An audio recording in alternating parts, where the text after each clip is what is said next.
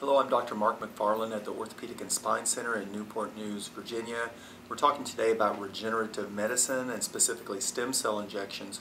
Uh, and one question that we've had is what type of conditions can be treated with regenerative medicine? Uh, if you look at any type of connective tissue disorder in the body, whether it's a tendon injury, a ligament injury, or let's say it's an arthritic condition where the cartilage is worn, or a degenerative condition of the spine where possibly your discs are worn. Any of those connective tissue problems can be treated with regenerative medicine. Some patients may have problems that are too severe to regenerate their tissue, and those patients will talk about other options for them.